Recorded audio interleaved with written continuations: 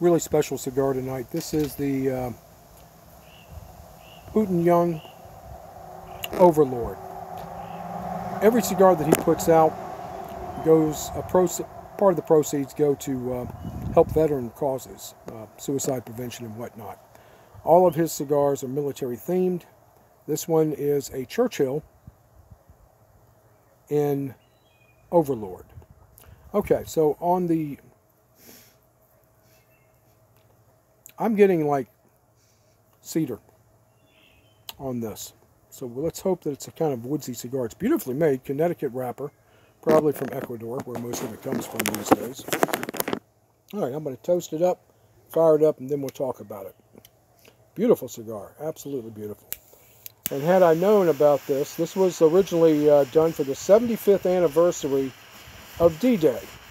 So uh, I'm going to have to go back tomorrow and buy a few of these specifically for some friends, Tim Mace and uh, Robert Abels. You know, both of them were uh, Air Assault School instructors with me when we were in the Pathfinder Company of uh, the 101st. All right, let's fire it up.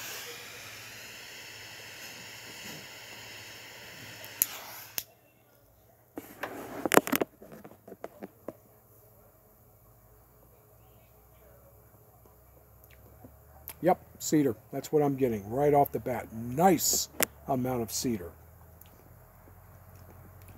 Short finish, non-lingering. No spice, just some leather and a lot of cedar. Cedar.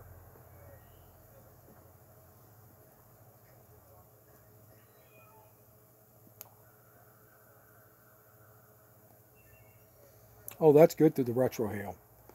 Boy, more cedar just pops right through your nasal cavities. All right, so I'm going to set down that beautiful cigar and pick up the beer that I'm drinking tonight, which is Line Creek Brewing Company First Crush IPA. This is a hazy IPA, and uh, it comes in at, see if it tells me, 6.3% alcohol with just 36 IBUs. That's not much of an IPA. Usually IPAs are 50 plus. All right, so it is hazy in color. Grapefruit. That's what I'm getting. Big time grapefruit. Let's take a pull.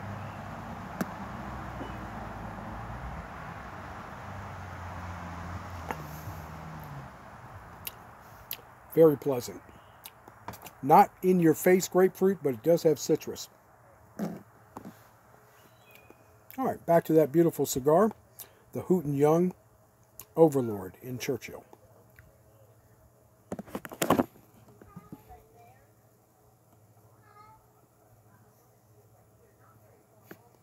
Beautiful, generous output of smoke.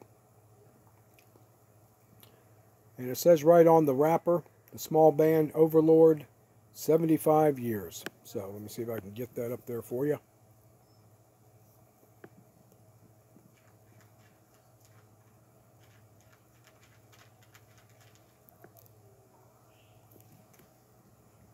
Just a beautifully made cigar. So uh, Tim Mace and uh, Robert Abels, uh, definitely I'll pick up a couple more of these and uh, send you each one.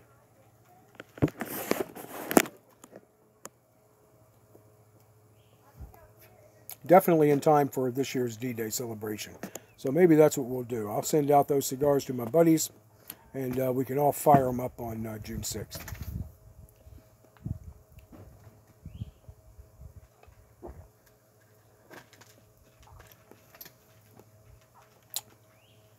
Tastes more than 36 IBU to me.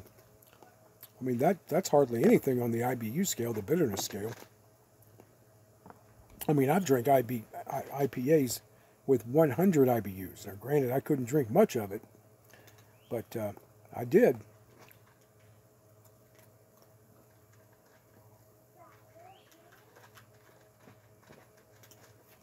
If you're into IPAs, the one to get is Liberty Ale and that's by Anchor Brewing because they were brewing that since 1975, I believe.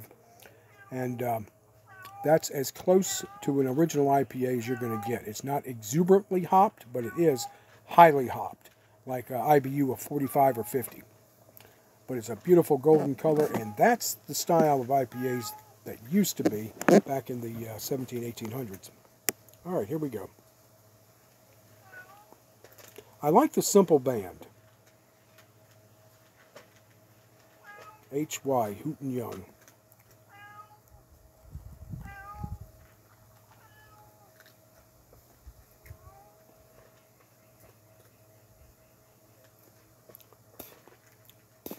Okay, no spice. A very creamy, light textured smoke. Once again, just exceptionally made. I don't know who makes this for Mr. Hooten Young. I'll look it up. But uh, as far as flavor goes, it's very light, mild, not overly mild, but a definitely mm, mild medium. The flavors are light. The smoke is generous.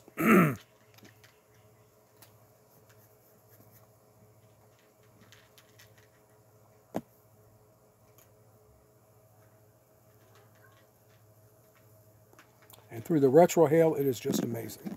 All right, we'll go back to the beer now. Line Creek Brewing out of Peachtree, Georgia.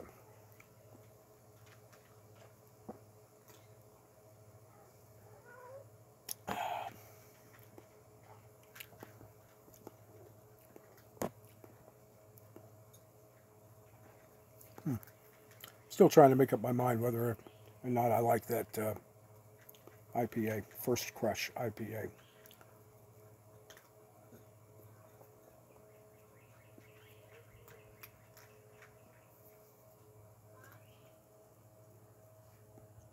But I am definitely enjoying this cigar. Burning nice and slow. We're almost 10 minutes in. And we have that stack of dimes going on. I look up at the uh, front of the ash. It's not falling apart. It's not splitting. So it is very nicely made. This is a Nicaraguan filler with an Ecuadorian uh, Connecticut wrapper, I believe it was. And it's exceptionally mild. Doesn't mean it's not in my wheelhouse. This is a good, good cigar.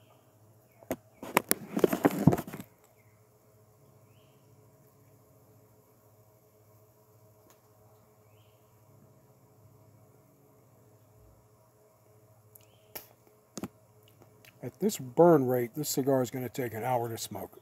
and I usually smoke them a little on the fast side. but that is burning really nice and really slow.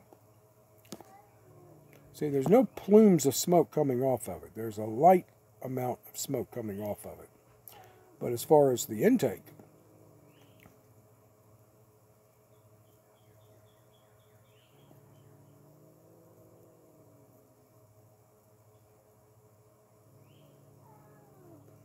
generous smoke out there. Super nice, super mild. All right, so we're going to call this at the 8 minute and 30 second mark. If you have a chance to try these cigars, do so because they do support veterans with suicide prevention and some other uh, issues.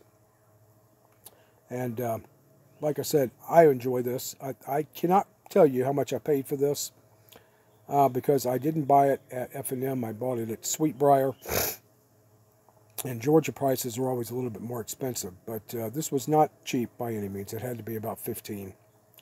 And what else am I going to tell you about this? Oh, on a scale of 1 to 5, 4.5. 4.5, definitely. I would buy it again. Okay.